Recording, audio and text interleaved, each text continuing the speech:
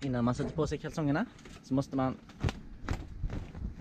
Man vet aldrig hur många spindlar och ormar och kryp som kan vara i dem. Jag drack en supergod mango smoothie igår och jag tog med den hem och sen så orkar jag, eller ja, jag pallar inte dra iväg och slänga den så jag la den utanför och jag bara, det kommer att vara tusen myror på den här imorgon och det var det. De myrorna var skitcoola för de gick på trädet liksom så här bara wow, hela vägen ner, fint led. Typ Supercoolt. Next place. Kotarotau! Here we come! Här har vi Helvigs ryggsäck och hon ser lite ut som en sköldpadda faktiskt. Eller typ som en fågel. Du har typ eh, vingar. Lukas ryggsäck är mer långsmal för han använder inte sidofickorna. Nej. Nej. Den här ryggsäcken keeps on surprising me. Den, det finns massa nya grejer med den hela tiden. Liksom, det finns fack här. Här finns det fack som leder till sidofacken.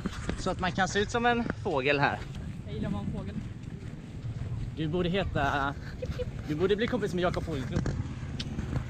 Så för ett par dagar sedan, när Hedvig hade sår på sin fot, elakt nu, så tyckte Lukas att det var jätteroligt att hälla handelsinfektionsmedel i Hedvigs sår.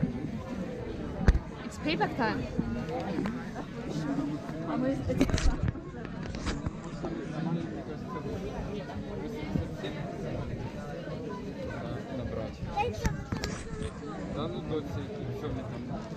Gör det ont? Här kommer det. Nej. Alltså. Jag har gjort det här två gånger innan nu och det gjorde mer ont de första två gångerna.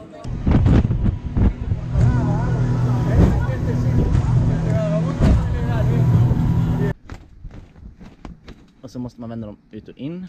Inget skräp fina palmer, fin strand, blått hav. Wow. Såg någonting och jag blev väldigt sugen på det. Mm. Nice. 9, 10, 11, 12, 13, 14, 18. Sen har vi 20 där och sen har vi 19 där borta. Och vi hade 19 så vi bara gick hela vägen och bara vart är 19? De bara ah, där borta. Vi bara okej. Och Hedvig är trött så hon vill inte gå med ryggan länge helst. Hedvig är varm och törstig. Och Hedvigs lilla vattenflaska är slut. Det är inte bra. Säger vi. Man är Lukas. Det är bra. Bra skit. Och här får du sova själv alltså. Du kan ju ligga precis som du vill. Det har de. Finns det några bedbugs? Nej, inga bedbugs här inte.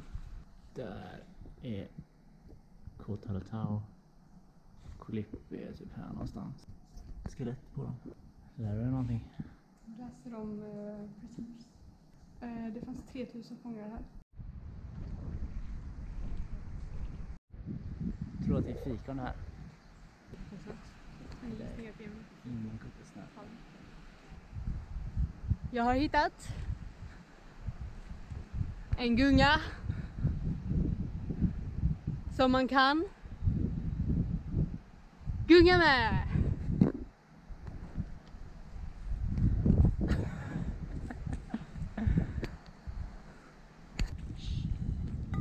Lyssna. Här är det. Havet eller kittelfågeln eller duvan Precis.